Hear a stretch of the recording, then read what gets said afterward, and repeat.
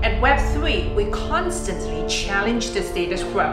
And today, I'm going to tell you some projects that are doing exactly that. Portaverse, a decentralized cloud streaming network.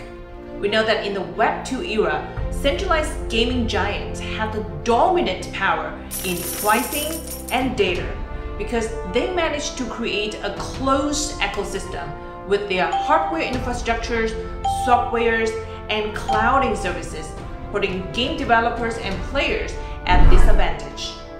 Well, it doesn't have to be that way though, and that is exactly what the Portaverse team aims to change.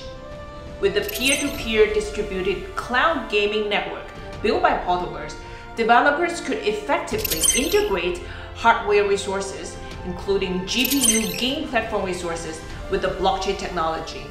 And this innovation on the infrastructure level makes a huge difference for users. Portaverse Network focuses on facilitating ordinary players to enter the immersive metaverse which they truly own at any time, from anywhere, and on any device by establishing a cloud-native protocol served as an infrastructure of the future metaverse. Portaverse has already made a lot of traction in the Web3 space, the team recently won the number one award from the Accelerator Stars program by Octopus Network, which is a Web3 infrastructure built on the NEAR protocol to help Web3 projects run app chains. Well, the idea is to serve each application with a dedicated blockchain. And this is exactly what Portaverse plans to do.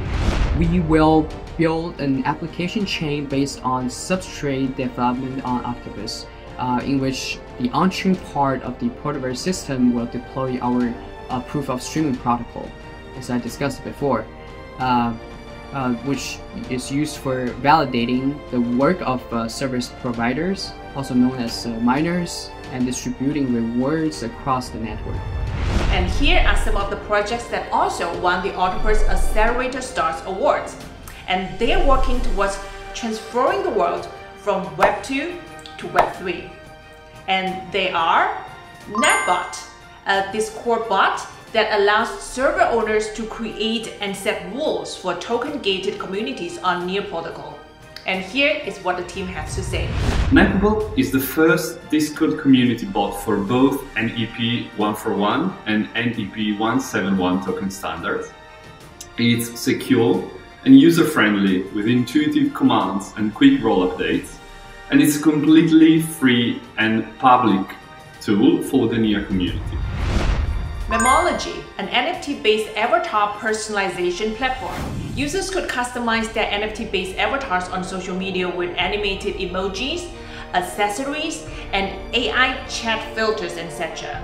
And the beauty is, everything is happening on the blockchain. And as a user, you will own your own data, and that makes all the difference. And here's why the project is different in their own words. So at Memology, NFTs are no longer static JPEG, but a full-body animated avatars. With very cool animations, lip sync, voice filters, and emotion detection. Memology is also open to Web2 users. Users are not required to have a MetaMask to use our product. QSTN, a blockchain-enabled market research portal where users answer questions, earn credit for their input, and spend them within the QSTN digital NFT marketplace. Why is it special? Let's hear what its founder has to say. We believe it's our vision to bring users from Web 2 to Web 3, and we do this by allowing you to earn credits, NFTs, and other virtual goods within a gasless environment. And if and when you want to, you then can export to your Near wallet, avoiding gas fees. Thank you. Well, last but not least, at Meta, a metaverse app platform that focuses on preserving users' privacy. Users' private data is stored on the T layer of blockchain, ensuring that metaverse advertisers can precisely target ads without knowing users' information. Impressive, isn't it? Want to know more about Web3 and innovation? Please subscribe to our channel and follow us on Twitter. Well, if you are building a Web3 application, we got some good news for you. The Octopus Accelerator Summer Batch is open right now. Check out the link below and apply. you will get all the resources you need to make the world a better place.